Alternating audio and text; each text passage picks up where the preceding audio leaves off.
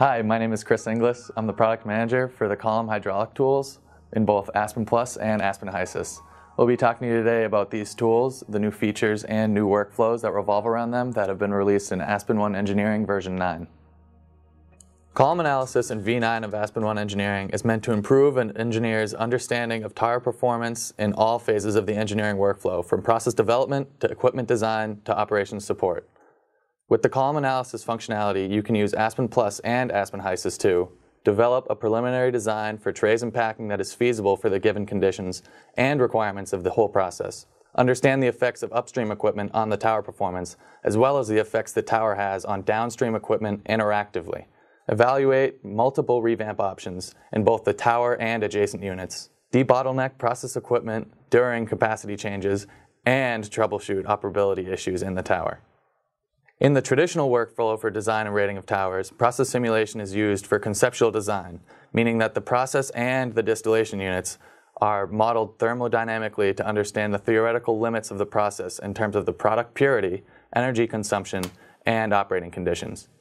When a reasonable base case conceptual design is achieved, the process data and transport properties are likely to be transferred to an external tool to understand the impact on tower size and internal selection. This leads to multiple iterations between process engineers, fractionation specialists, engineering service providers, and vendors to evaluate tower designs against the base case and off-design cases before an equipment proposal is finalized and the units are built and operating. This workflow is inefficient and the process impact is not evaluated early. It is difficult to understand the impact of the tower design in the context of the full process. With the new column analysis in V9 of aspenONE Engineering, hydraulics can be considered in the base case and off-design cases with intelligent insights provided by hydraulic plot visualization and messaging. Engineers are empowered to work with the vendors on tray and packing designs collaboratively and then use the actual equipment information to make models more rigorous.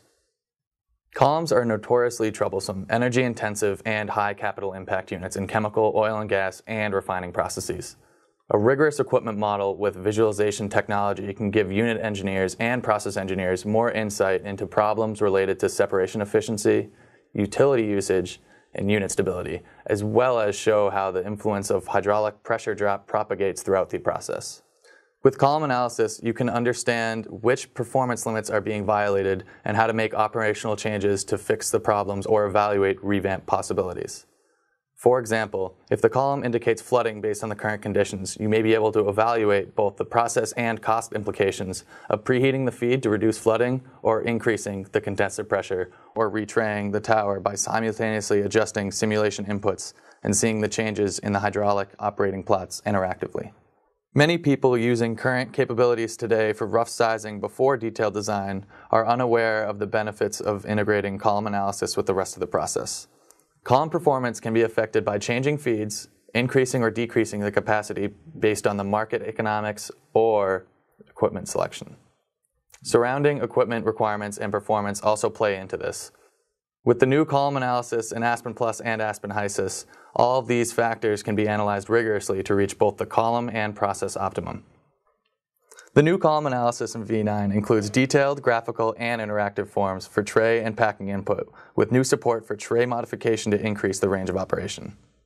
An interactive plotting tool simultaneously gives a simulation user insight into the performance boundaries of individual areas of the tower, the tower profiles relative to minimum and maximum limits, and a messaging system that gives design guidance based on departures from the feasible operating region. Not only is the workflow of designing and rating towers much improved in V9 with visualization and interactive results, but extensive work has been done in the fundamental hydraulic correlations that are being used to define the database of tray and packing types that we support. Aspen Technology has published a white paper on the results comparison and validation against both publicly available vendor programs as well as published experimental data. In the new column analysis in V9, you can use Aspen Plus and Aspen HYSYS 2 create a conceptual model of the tower and the process based on thermodynamics, create an equipment-based model to add rigor to reflect the operation of actual trays and packing in the plant. Use the hydraulic operating diagrams to understand the feasibility of chosen internals, and update the simulation with hydraulic results which propagates throughout the rest of the process. The workflows around column design and rating have been extensively tested by many of our top customers who see benefits in using column analysis interactively with the simulator to better diagnose performance issues, debottleneck, and optimize separation units in the context of the full process. Now let's take a hands-on look on these features inside of Aspen HYSYS. This is an extended gas plant model in Aspen HYSYS. What we're focusing on here is the dehydration process, which is downstream of acid gas treating and upstream of NGL recovery. The glycol solvent in this process is being circulated throughout to remove water from the gas distillate in the glycol contactor. The composition of the dry gas in the distillate must not exceed 30 parts per million, as shown in the composition form. In this demonstration, we'll be focusing on the column design and rating for this glycol contactor. Before moving forward, let's just take a note at the molar flow rate of the glycol moving through the system, which is shown here to be 252 kilomoles per hour. Now let's move into the column analysis capabilities by clicking on the small column icon next to the contactor on the flow sheet. From the internals form, we can define the sections for the column. With prior knowledge, we know that this column has five equilibrium trays. We can use the auto section tool in column analysis to define the geometry based on the vapor and liquid flow rates. Column analysis defaulted to using the simplest tray layout based on the vapor liquid traffic, which is a single pass sieve tray. By viewing more details, we can see that the layout and geometry specifications are laid out in a format that appears just like the process and instrument diagram for the column, showing detailed images of the tray internals. From here, we can define our own design parameters for the column design.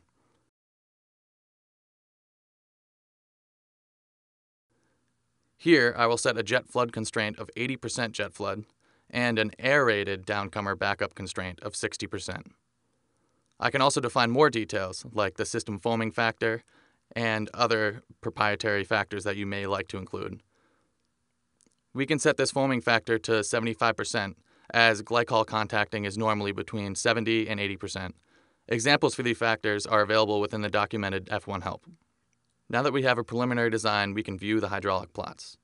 As we open them, we can see the red indicator along all stages showing that the column design is violating at least one constraint. From a glance, we can see that it appears that the maximum entrainment limit is being violated. By taking a deeper look into the messaging, we can see that on top of this constraint being violated, there is also a jet flood constraint that is being violated.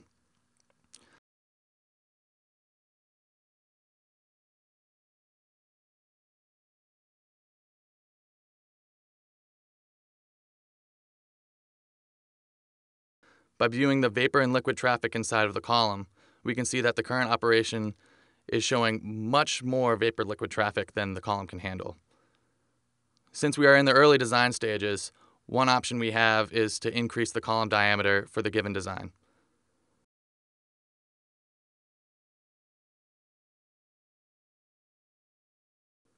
We can go into the form and change this to from the default value to 10 and a half feet. As we update this, we can see the hydraulic plots update interactively. Now, we can explore other tray design options. Switching to a ballast V1 valve tray layout, we can see the geometry form update to reflect the changes made.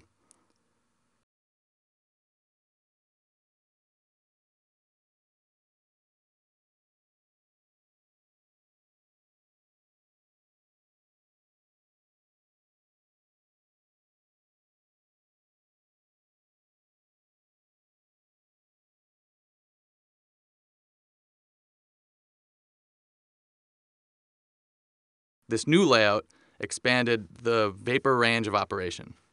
We can increase the number of valves per active area to 10 valves per foot squared to see a similar effect on the liquid operating range.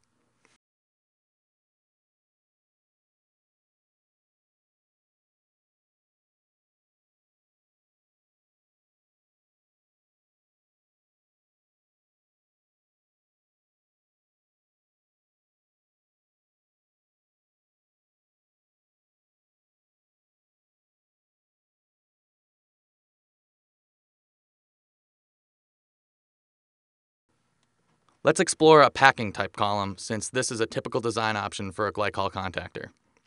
Here, let's switch from a tray type internal to a packed type in the geometry form. The form updates with a given specification, and we can choose to use the default diameter for a Koch Flexipac packing. We will use metal for the packing material and 1.4x for the dimension spec.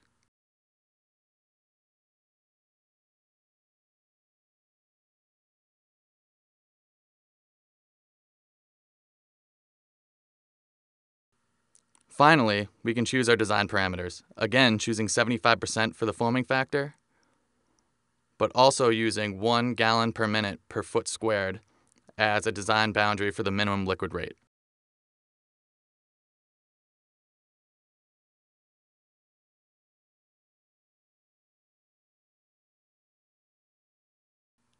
We can see the column internals correlate to reasonable operation away from the defined hydraulic constraints.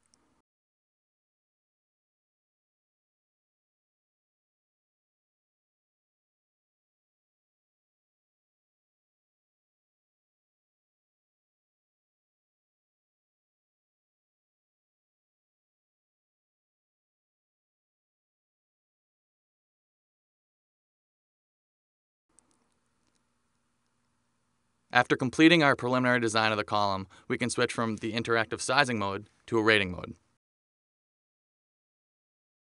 We now have the option to export the calculated hydraulic pressure drop into the Aspen HYSYS simulation. Navigating to the results form, we can see that the calculated pressure drop now includes rigorous hydraulic correlations, as opposed to using a constant pressure drop along all the stages of the column.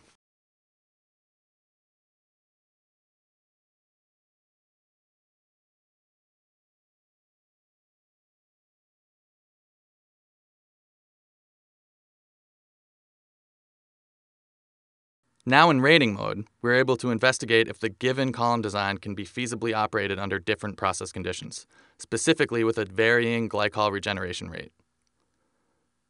By doing some extensive analysis, likely using the HYSYS case study tables, we can find the minimum regeneration rate to meet the given water composition in the distillate. From here, we can determine the lowest feasible regeneration rate for column operation. By inputting this value of 180 kmoles per hour, we can see that the column now operates much closer to the minimum liquid rate limit. With this specification, a smaller pump can be used for the regeneration loop, which could lead to less utility and capital expenses.